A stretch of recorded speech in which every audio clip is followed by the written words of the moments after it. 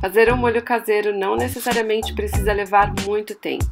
Dá para fazer um molho bem rapidinho com tomates naturais, folhas de orégano fresco, para lá de delicioso e pronto em 5 minutinhos. Corte 3 tomates maduros italianos. Descasque 3 a 4 dentes de alho. Pique meio dedo de moça sem as sementes. Se você não é fã de pimenta, adapte a quantidade ao seu paladar. Use um quinto, mas não deixe de usar. Ela faz a diferença de sabor neste prato.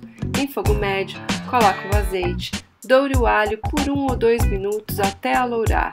Junte a pimenta, deixe por mais um minuto então coloque os tomates. Tempere com sal e pimenta do reino a gosto.